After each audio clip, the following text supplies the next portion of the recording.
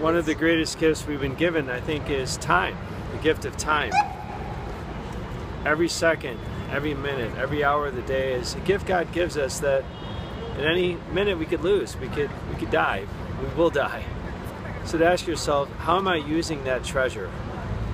Am I using it to love? Am I using it to learn? Am I using it to grow? Am I using it to pray? Am I using it to be productive at work for God's glory? It's okay to check your phone, but how many times do you check your phone? It's okay to look at yourself in the, in the mirror to make sure your hair is okay, but how many times do you need to do that?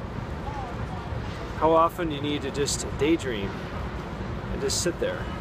Sometimes it's healthy, but it's all about balance and moderation. Use the gift well. God bless you.